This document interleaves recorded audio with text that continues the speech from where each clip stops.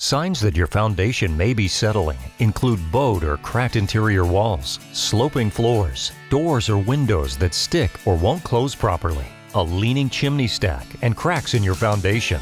If you see these warning signs, it's important to act quickly before more damage occurs and the safety of your home is further compromised. R&R Foundation Specialist uses helical piers to permanently restore your foundation. The process starts by driving our piers deep beneath the earth until we reach bedrock or load-bearing strata.